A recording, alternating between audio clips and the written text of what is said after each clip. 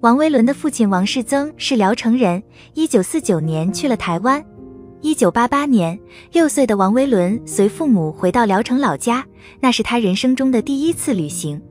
二十七年后，王维伦父母已经过世十五年了，和大陆的亲人又断了联系。然而，从父辈到儿孙，从台湾到聊城，血浓于水的亲情，山隔不断，水隔不断。一个人，三个灵魂。二零一五年夏天，王维伦重走了当年返乡的路，完成了一次难忘的寻根之旅。近日，王维伦制作的归乡视频《一个人，三个灵魂》在网上广为流传。异乡游子心中那一缕牵扯不断的乡愁和血浓于水的亲情，让人潸然泪下。记者与之连线，听他讲述动人的归乡故事。在老家，第一次见父亲落泪。对王维伦来说，聊城是一个陌生又熟悉的城市，这里的人、这里的事、这里的一切都有着父亲的影子，他必须要再来看看。二零一五年七月十四日，找了多个地方之后，通过聊城市公安局的协助，王维伦再次找到了老家东昌府区道口铺镇王月河村。已经八十六岁的三叔王世春和家人惊讶于这个已经长大的孩子，热情地抓着他的手，将他请进家。时隔二十七年，当年那个小屁孩又回来了。王维伦既感慨又激动。进门之后，令他感到意外的是，在家里墙上挂的相框里。还有自己儿时在老家拍的两张照片，一张照片是当时他坐在木质圈椅上，而这个圈椅至今仍保存着；另外一张是父母和老家的亲人去上坟时在田地里照的一张合影。现在照片已经泛黄。一九八八年，我和父母来老家，是父亲最高兴的一段时间。全家人围坐在一起吃饭时，我从来没有见过他笑得那样灿烂，像个孩子一样。王维伦说。王维伦到家之后不久，便和三叔家的大哥王维兴、二哥王维军去上了老坟。那次来上坟祭祖的时候，是我第一次见到父亲落泪，他久久不能自已。王维伦说，父亲其实是家族里的传奇人物。小时候在唐艺念书，毕业以后就去了东北，那时候只有十六七岁。一九四九年，父亲去了台湾，近半个世纪没有回过家乡。几十年年过去。您终于又回家了。上坟的时候，看着父亲的照片，王维伦眼眶里噙满了泪水。临走，他朝村口磕了三个头。在聊城，王维伦感觉到了浓浓的亲情。他与家人朝夕相处了半个月，这段时光也成为他人生中最重要的回忆。年近九旬的三叔身体健康，每天都能在农地里走走，我也会跟着去田间地头转转。王维伦说：“三叔至今仍然关心农地里的事物，他把生命的全部都奉献在这片农地上。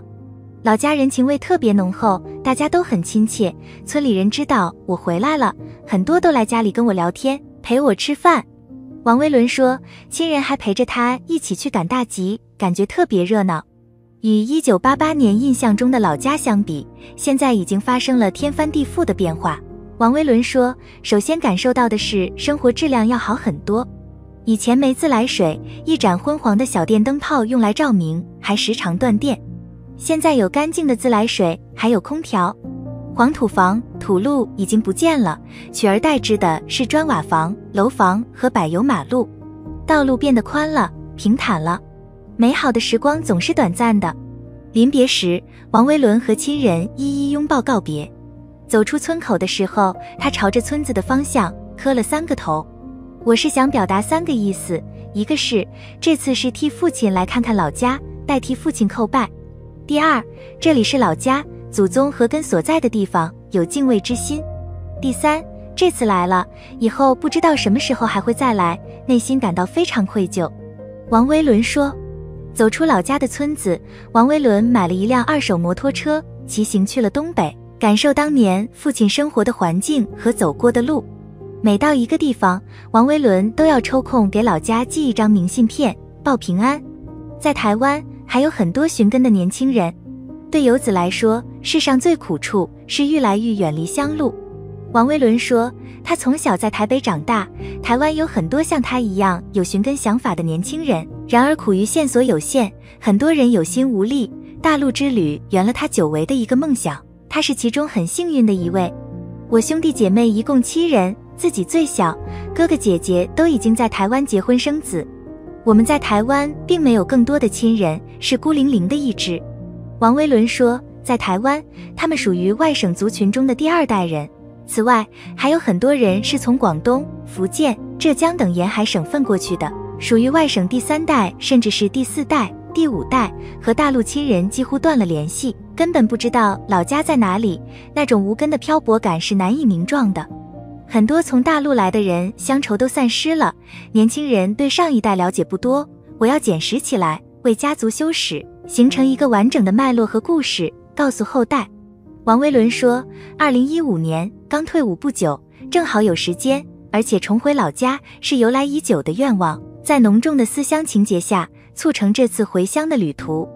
通过寻根，王维伦整理了家谱，他把台湾和大陆的家谱联系起来，让老家人知道还有一支后代在台湾。更重要的是，可以让台湾的家人和后代知道祖上历代都有哪些人，有根可依，找到安全感和归属感。”王维伦说：“今年暑假，大哥王维鲁将带着孩子来大陆看看故乡的风景。一个人的身体里栖息着三个人的灵魂，这灵魂转动着乡愁。中年的奔波行走，总是在寻找他乡的故事。王维伦的爱和不舍也倾注在了海峡两岸，故乡成了他心灵深处密不示人的珍藏。现在就让他小心翼翼地把珍藏打开吧。”王维伦出发了，他脚步匆匆。他意绪绵绵，父母长大的故乡，别来无恙否？那些大地版图上无甚出奇的所在，那些所在处平平常常的亲人，那些亲人被岁月模糊了的面容，那些面容中被风霜岁月时刻下的皱纹，这一切一切，都在他心中被无数次踏访叩问，在王维伦的脚步里历历在目，触手可及。千里归乡路，故土三叩首，世间乡愁莫过如此。对于游子而言，为什么落叶要归根？读完王维伦的故事，也许你会找到答案。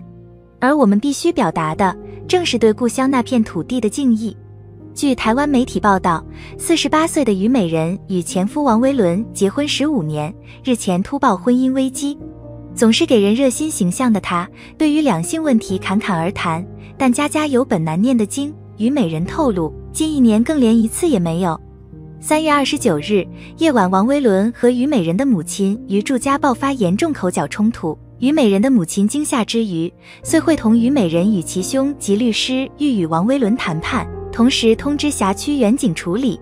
随后，虞美人为其母申请保护令，召开记者会，起诉王维伦家暴及对其母不敬种种。王维伦表示，虞美人记者会内容及控诉其家暴均非事实，必要时将公布手中录音存证。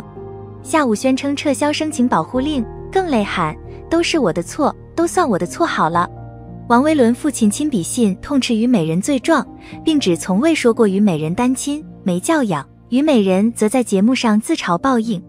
三十日，王维伦和他妈妈发生严重口角冲突，于妈因受到惊吓报警。虞美人为确保母亲安全，立刻申请保护令。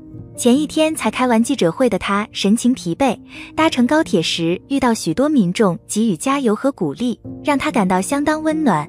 而在活动现场谈起锅子和食材，孝顺的他表示：“好东西会第一个先给妈妈吃，展现出和母亲的良好关系。”王维伦三十一日晚间二度发表声明，他先对家务事占媒体版面致上十二万分歉意。而对于虞美人指控有许多与事实不符之处，不再对外说明。最后表示会持续为予祷告，把一切交给上帝。